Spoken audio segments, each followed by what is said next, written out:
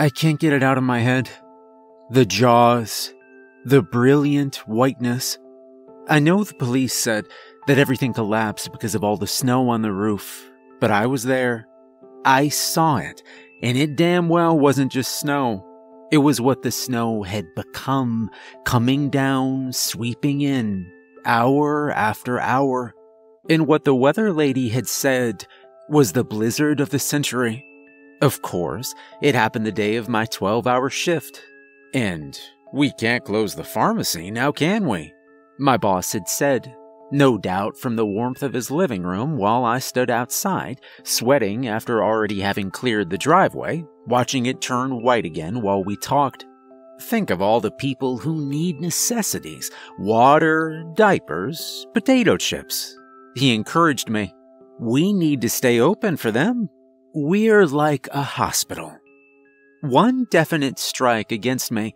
I live nearby. I didn't say anything. Maybe we can let you end a little early, he suggested to fill the ensuing silence. How's half an hour sound? Spending 11 and a half hours alone at work on the day of the blizzard of the century did not sound good. Fine, I said, realizing strike two. I was a pushover. Fantastic, he replied. A plow drove by, dumping snow back onto the driveway. Shit. Then I dropped my phone in the snow. After clearing a path to the street, I got into my dad's truck and checked my phone. Some moisture had gotten in behind the camera lens, but the phone itself still worked. I reversed out of the driveway and rolled along my usual route to work, albeit this morning through whiteout conditions, dotted by the occasional car, stuck in the snow, fish-tailed onto the unplowed shoulder, sitting empty in front of houses where other people were spending their unexpected days off. I arrived slowly, but without incident. The pharmacy where I worked, Quince RX, was one of about 50 stores enclosing a big square parking lot, which, together with the stores, made up our local Amityville Mall. It was nothing special, and no less so today except for its eerie and vast emptiness. Not that I had expected anything else. Only madmen and retail workers could be expected to brave today's roads to get to the damn mall. I parked, shielded my face with my arm, and crossed from the truck to the pharmacy's entrance, where I fiddled using freezing fingers with a lock and key until I heard the satisfying click, and I was in. At least the interior was cozy, and after I'd shut the door behind me, quiet.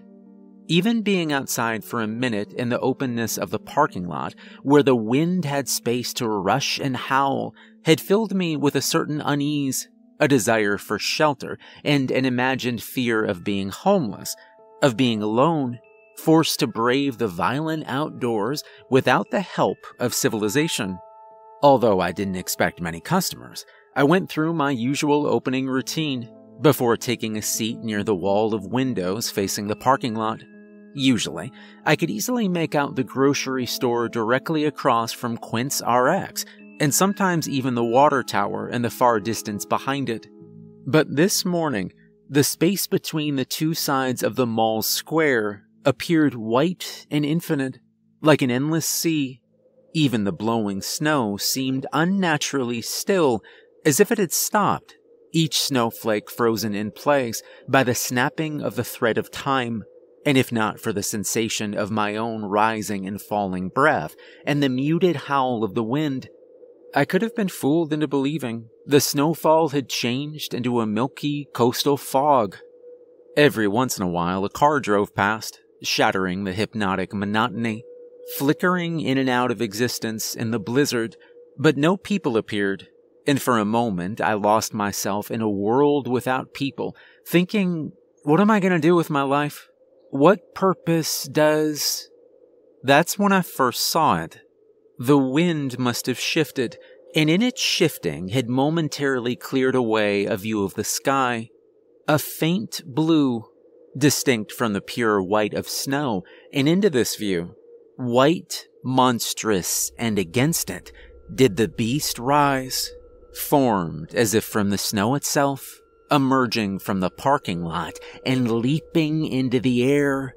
A shark, a shark made of winter, with eyes the color of hideous sunset and teeth of the most crystalline ice. It hung above.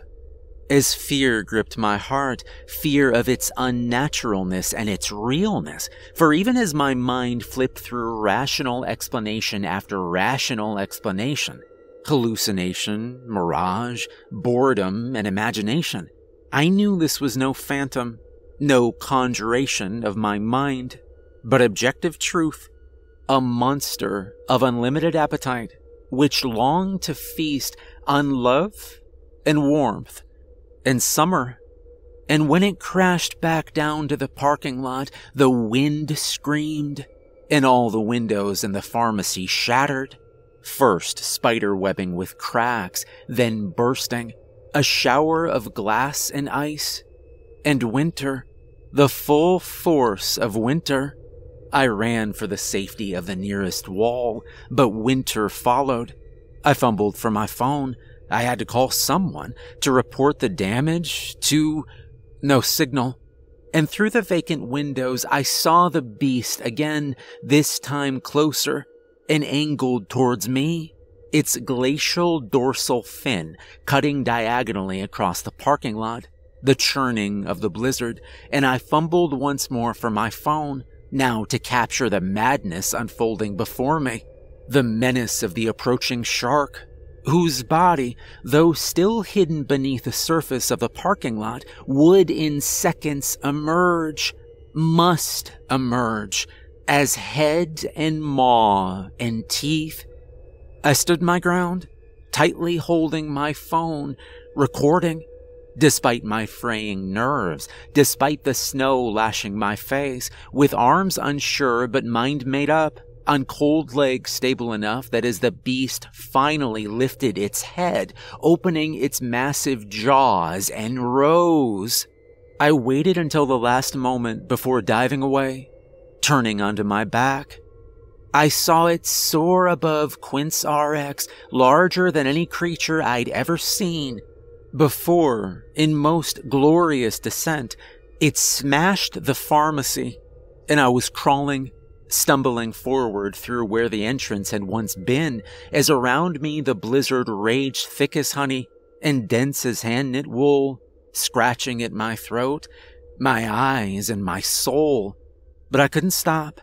I knew I couldn't stop, for the beast was surely behind me. To say I walked through the unrelenting blizzard would be wrong.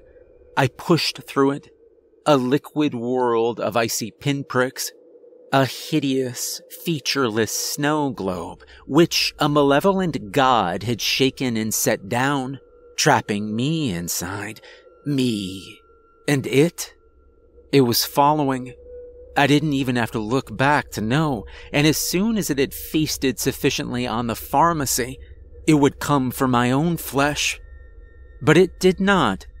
Instead, I heard somewhere far off the creaking of steel and collapsing of brick, and when I glanced to my right, I spied with squinting eyes the destruction of another store, then another, and another in rapid succession.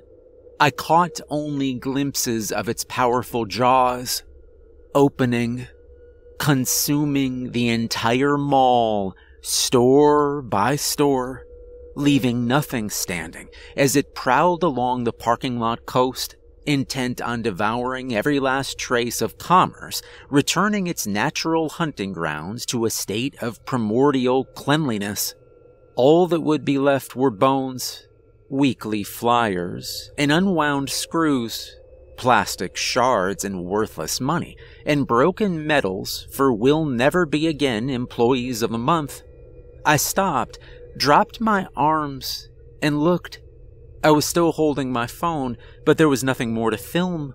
All around me was whiteness, complete and unadulterated, a world of cosmic dust that smelled of laundry detergent and tasted of chemical purity. Directionless, aimless. Where in the mall parking lot am I? On what world am I? There was only I and it, and once it had circumnavigated our planet, it returned like a horrible angel lunging at me. It ate me. I swear to you, it ate me. What's that? I heard a man's voice say. I think I heard something. I was immobilized, cold, buried in the aftermath of there, the voice said, and suddenly the sky appeared. Then arms were thrust beside my body. A policeman's face. I was pulled toward it, coughing. My arms were freed, so I rubbed my fingers into my eyes. The blur became sharpness. There you are, son. You okay? I tried to speak, but I couldn't. I was in the mall parking lot. The sky was blue and the sun was out, but there was too much snow everywhere. I was near the grocery store, but there was no grocery store. Only ruins. Garbage. Cracked containers of cleaning products. Broken bottles of mouthwash. An empty yellow cardboard box of sunshine. You're lucky we found you, the policeman said. What about the shark? Fear still echoed in my frozen chest. The what now? I pointed at the destruction on all sides of us. The entire mall had been flattened.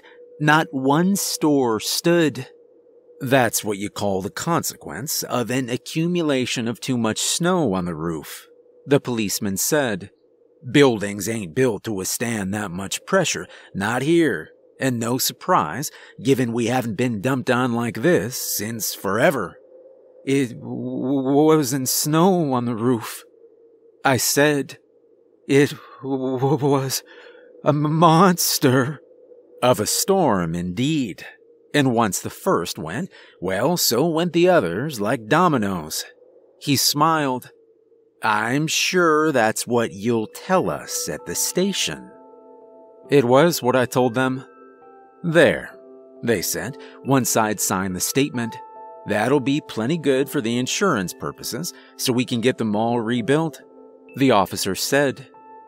But that's not what I believe, or what I saw happen.